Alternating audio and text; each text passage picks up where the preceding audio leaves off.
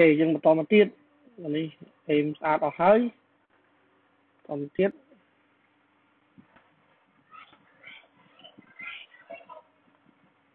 អឺអ្វីសំខាន់យើងចុចរបត់ដើមឲ្យវាចេញអត្ថបទឥឡូវចេញទាំងអស់សិនណាដោយសារអត្ថបទយើងតិចចាំកែតាមក្រោយអ៊ីនដិចរបស់យើង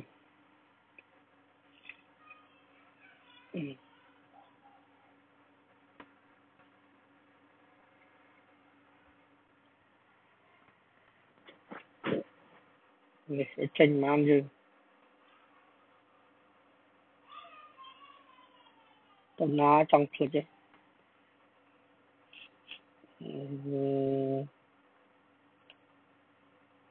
នេះចេញម្ដងមកសូត្រមើលសូណាសូយើងចេញមកសូយើងម្ដង3នៅសូចេញ5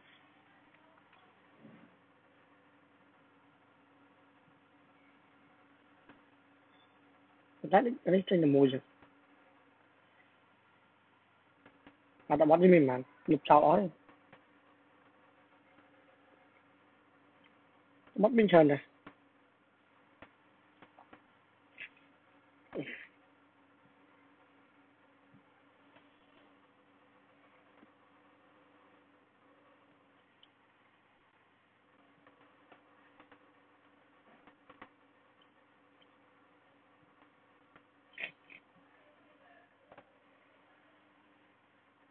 លុបចោល fast សិនបាទលុបអស់មកហើយចូលមើលវិញឡើងវិញ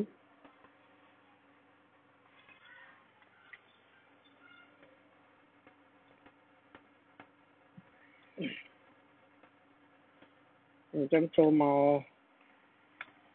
page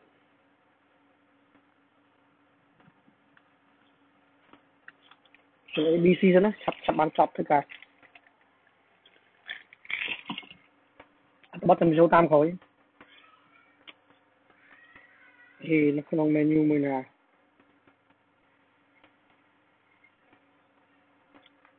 អូ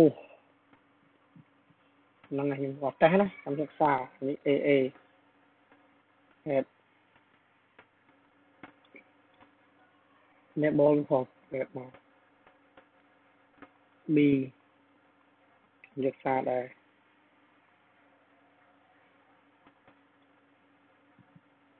ស៊ី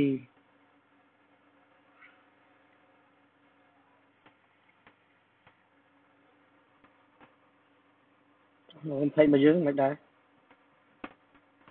អូខេចេញណា BCA មកអញ្ចឹង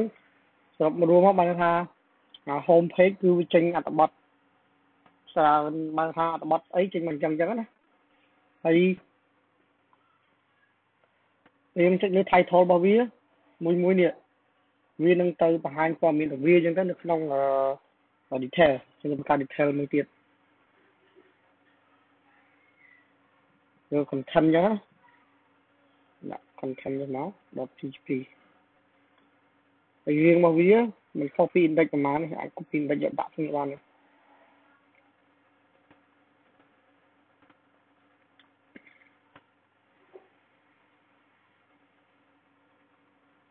គាត់ថាអត់មានណាវិទ្យានិយាយញ៉ៃទេមិនទុកចោលជំនាញកែតាមក្រោយទៅនេះនេះសំខាន់ចឹងក្បាលតំពណ៌វាអីដូចជាទាំងអស់ហ្នឹងខ្ញុំជឿកាប់ចេញចាំកាប់តាមក្រោយ banner ស្អីដូចជាទាំងអស់ menu ដូចជាទាំងអស់ហោះតែពីនេះចាប់ផ្ដើមពី9នេះចឹងលុបឡើងចេញអស់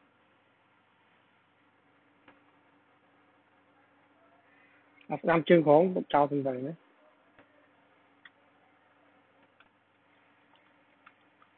អញ្ចឹង index របស់យើងពេលគេចុចលើអា title របស់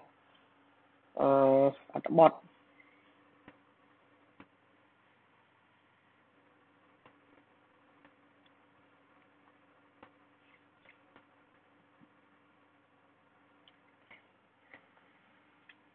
នេះ content title នេះឲ្យវា link មក AHREF link ទៅណា link ទៅកាន់ page content ដើម្បីបង្ហាញព័ត៌មានរបស់វាអញ្ចឹងទៅ content.php ប៉ុន្តែថែម ID ផងซึ่ง ID ស្មើអី ID ស្មើនឹង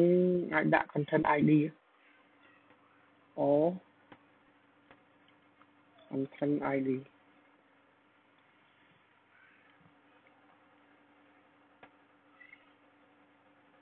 អញ្ចឹងពេលគេ refresh នេះគេចាប់បានមាន link យ៉ាងនេះអញ្ចឹងព័ត៌មានមួយមួយនេះពេលយើងចុចទៅវាត្រូវ link ទៅកាន់នេះ ID 21យកមកនេះ20យកមកហើយបានឲ្យអា content ចាប់បន្ត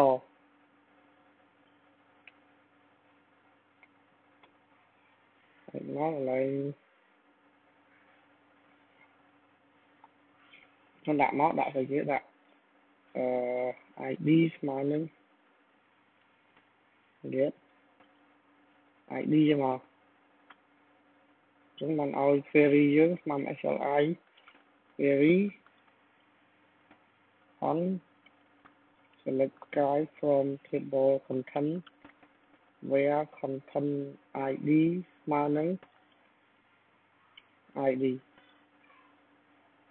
នឹង ID យកទៅមក row all ស្មើ SLI feature array ដាក់ query ចូលមក SQLi associate តមក echo នេះគេគាត់អត់នឹងចេញមកទាំងអស់មកខ្ញុំយកតាម style ចាស់ទៅសម្រាប់តែមានចំណៃនេះ echo ប៉ុណ្នេះ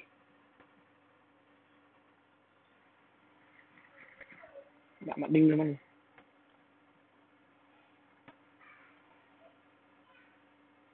សុំនេះណាសុំនឹងក៏ទុកដើម្បីតេស្តមើលបកទៅតែមើលទី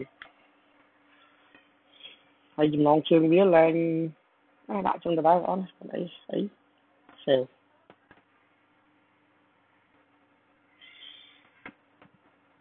ចាំ mình sẽ lưu ở bot C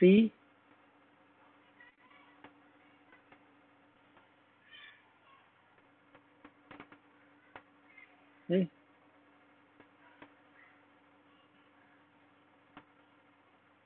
នៅពីលើមានអី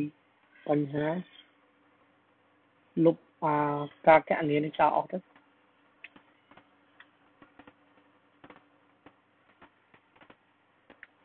វាជន់អាអា navigate pagination ណា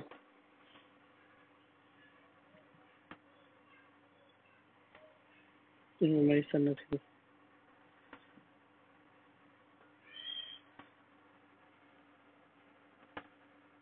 ចុចលើ A មកអញ្ចឹងវានឹងរត់ទៅកាន់វា content A នេះព័ត៌មានរបស់ A ចេញមកហើយអូខេអឺ B នេះព័ត៌មានអត់ B